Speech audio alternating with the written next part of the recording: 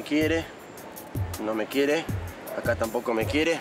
Hasta la naturaleza te dice que no te quiere y seguís insistiendo. Si no te quiere, no me quiere, no me quiere.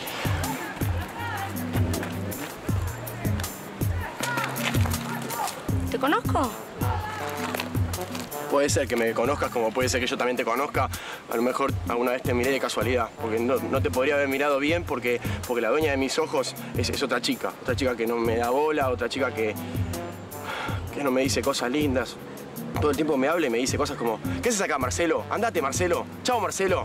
¿Qué hincha pelotas, Marcelo?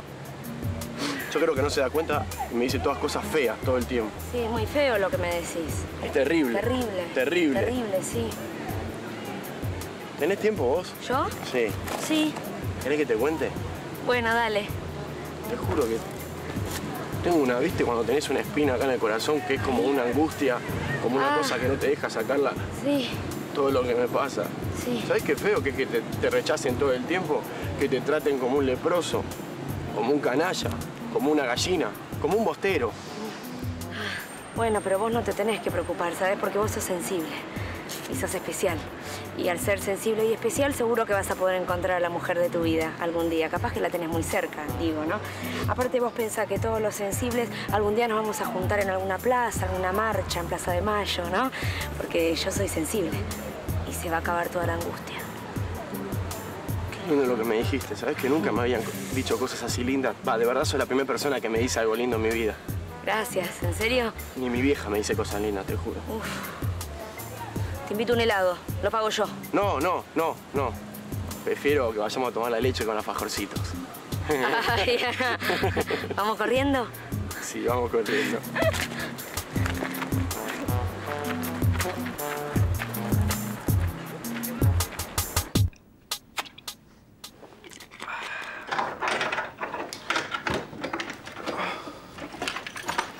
Ah, hola, Cari, ¿llegaste? Hola. Voy saliendo.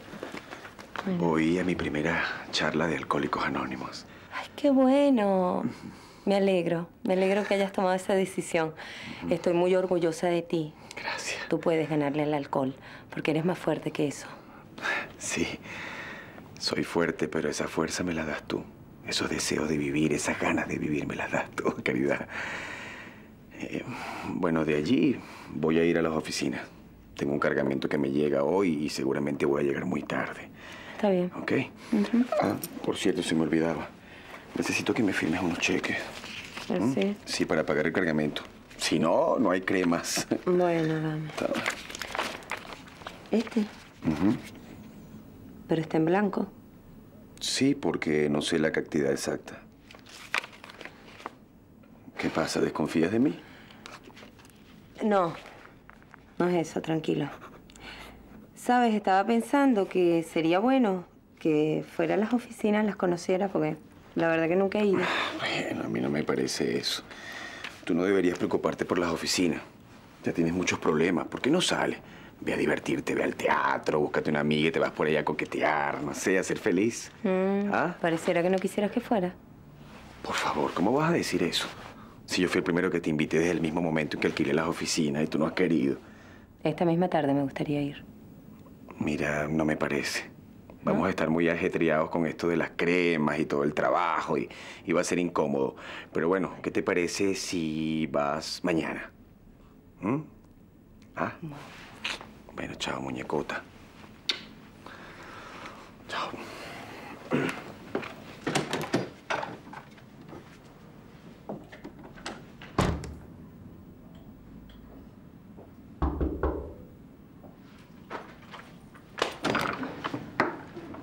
Hola, Caridad. ¿Puedo hablar con vos? Bueno, bueno. Veo que estamos todos. ¿Mm? Así que podemos empezar. El tema de hoy es cómo empezar una familia cuando ya es tarde. Y si ya es tarde, ¿por qué no nos vamos?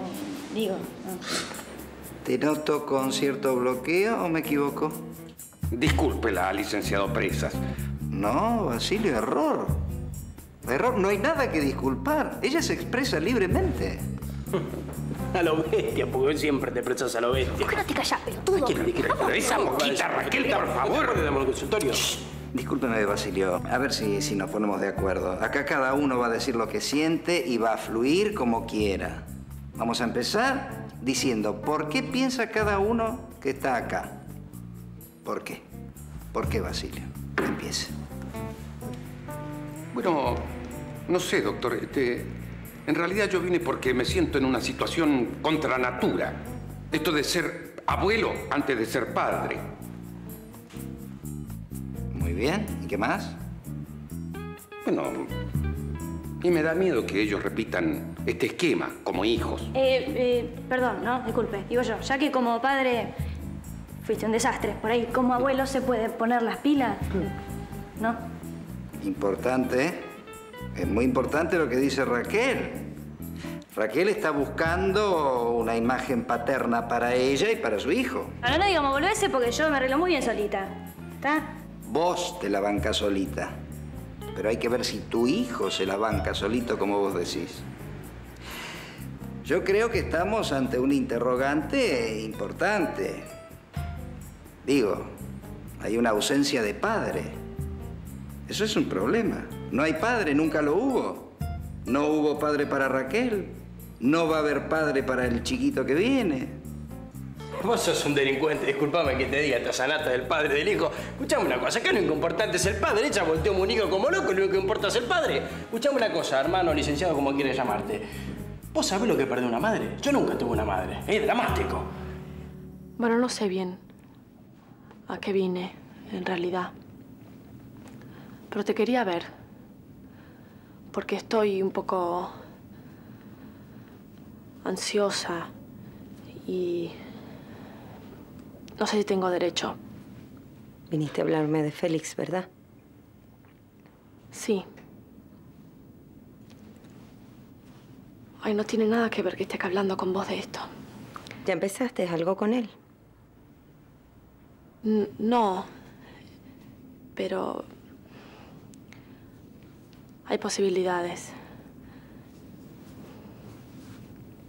Vos sabés que yo estoy enamorada de él.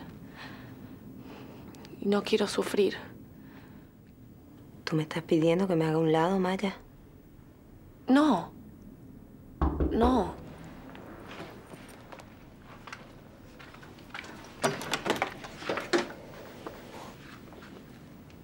Maya, ¿qué haces vos acá? Ilusiones que iluminan mi